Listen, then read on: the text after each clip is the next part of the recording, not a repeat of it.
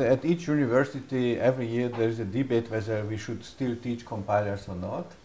And there are always people, especially those who do not know how, what compilers are, uh, say that we should not. But obviously, it is still a very alive topic. Yeah, it's probably what they address is, I haven't read it, but what they address is the growing gap between uh, the computers that are being developed and the high level languages. And so compilers uh, are supposed to bridge this gap. And bridging this gap is becoming more and more difficult because the gap becomes wider. Uh, the essential challenge of the future computers is how to make large amounts of data available to the very fast processors.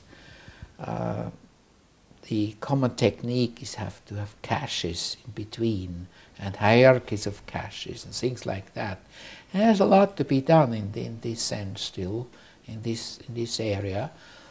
And uh, hardware engineers just drive for speed and don't uh, take into consideration very much the software uh, aspects, and so they make life more complicated for the software people, to for the compiler implementers. And they are supposed not to call these things new difficulties, but new challenges. That's, that's the modern euphemism for difficulty, challenge. So you mean, so you mean that the, the hardware and software people have, have to work much more closely together right now than, than in previous years? I, that has in a way always been my idea, but of course ultimately the computer users want fast computations and they don't care how whether the speed is now for good hardware or due to good software, they just want to have the overall effect. Uh, and the hardware people say, well, this is the way, the only way we can make our hardware first. New software guys will have to do your best. And the result is, of course, enormously complex compilers, which take a long time to develop, a long time to debug, a long time to load everything. I mean, in, in this paper, they also address some, some, some topics like also parallel, parallel compiling, surely, but also secure compiling and also verification. Yeah, yeah, yeah. But uh, yeah. regarding verification, I think uh, a verifying compiler for C++ uh, is probably is and remains an illusion. The question of mine is, do you see some new ways for, for languages? Because because if uh, if we so it is possible to write a verification compiler, but not for C++, but for a, for an appropriately designed language with uh, with a lot of restrictions. For example, no aliases and no pointers. Yeah, yeah, yeah. It could be right. it could be much right. easier.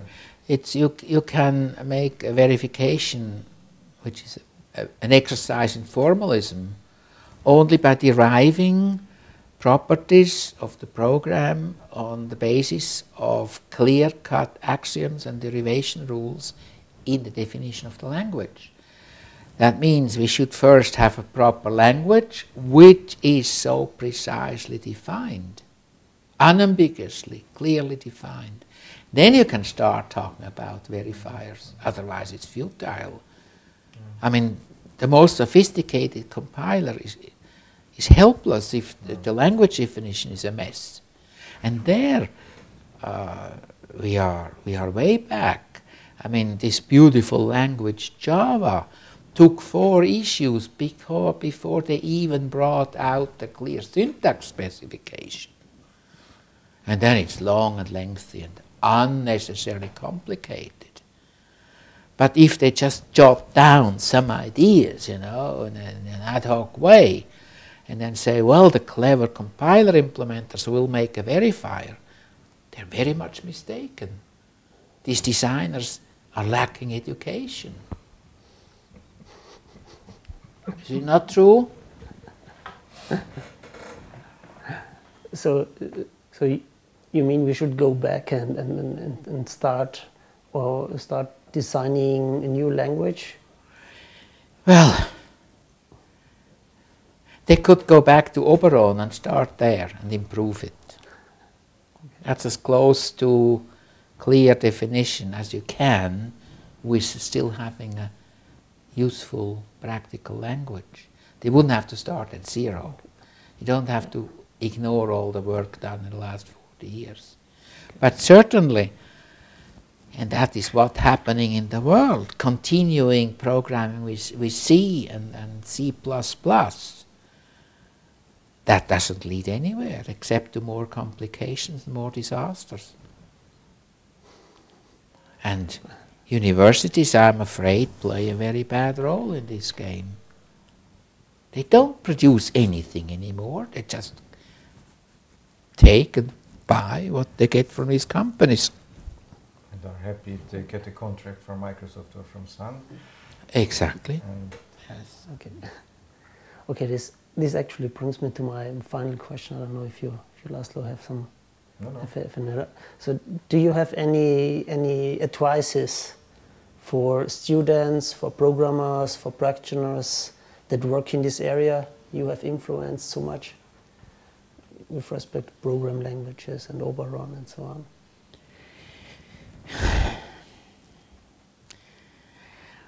Well, of course, uh, if the world was ideal, I would gladly recommend uh,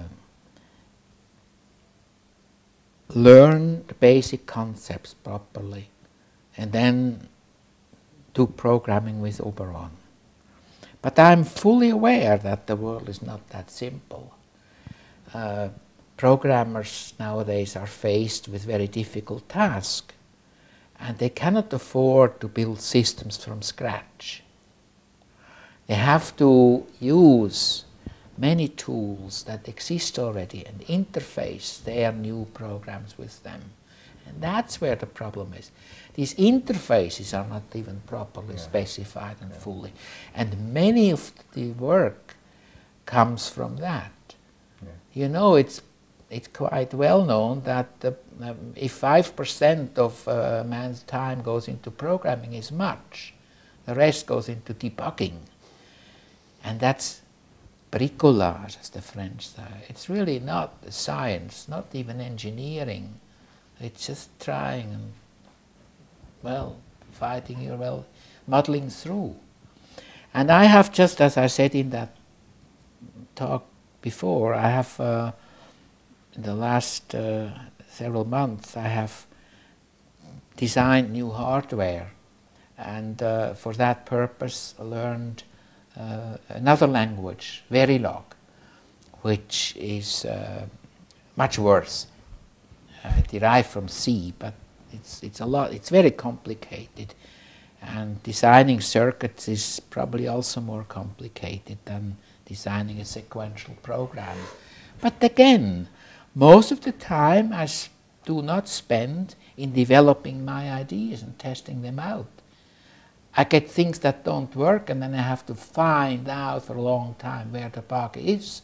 And sometimes I find it's in the commercial software system which doesn't do the right thing in compiling or generating the circuit or simulating it. May I add something which, Yeah, sure. which I learned from Niklaus, and after 30 years I can even formulate it quite shortly.